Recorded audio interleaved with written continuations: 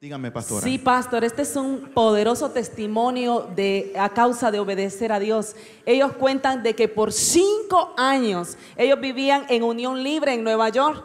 Entonces tuvieron tanto, o sea, nunca se casaron, eh, eh, asistían a una iglesia, pero con muchísimos problemas. Dicen de que estaban en drogas, en alcohol y muchas cosas que estaban pasando en su vida. Tanto fue así que ella decidió dejarlo se vino para este país viviendo en Nueva York, teniéndolo todo en Nueva York, o sea, todo cuando se refiere a dinero, a trabajo, teniendo todo, pero dice que no le importó porque no soportaba su vida y decidió ella venirse acá. Se encontró aquí con un mentor, donde, su- donde el mentor de ella es su padre.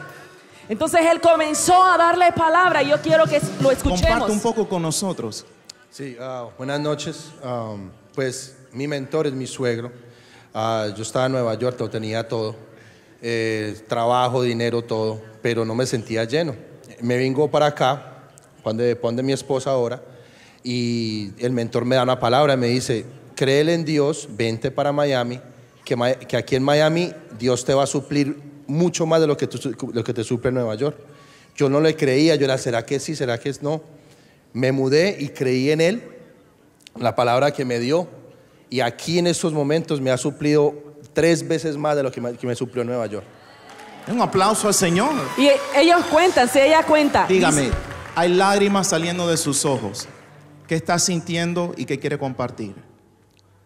Estoy muy emocionada porque, eh, primero que todo, la bendición que es someterse a sus autoridades y nosotros, para mí nunca, gracias a Dios, fue, Dios me dio la gracia para que no fuera difícil, a pesar que es mi madrastra y mi papá, mis mentores, pero vi la gracia al Señor dándome esa, esa poder de, de- de someterme a ellos y la obediencia es lo mejor. Eh, hemos visto es, o sea, es- ha sido espectacular la manera que el Señor nos ha bendecido espiritualmente y económica en todo el sentido de la palabra y ahora con este hermoso bebé que es un profeta que el Señor nos ha mandado y la verdad que el Señor ha sido fiel desde que decidimos dar el paso de fe y a, y a obedecer y a someternos. No estaban casados, vinieron, No, se, sí. se sometieron, Nos obedecieron, se nos casaron. casamos. Yo, pues, en Nueva York cometí un error que yo sé que de pronto muchos hacen que me casé, pero no fue por amor. Eh, y el Señor, eso fue otro testimonio que el Señor me, me- eso no, no había manera de divorciarme. Me- el Señor me hizo el, migra- el milagro, me divorcié y nos pudimos casar en junio, que, que pasó, y ya llevamos mes- unos cuantos meses casados y estamos felices. El Señor sigue siendo fiel y cada vez nos muestra más la fidelidad desde que estamos haciendo caso y estamos obedeciéndole a Él.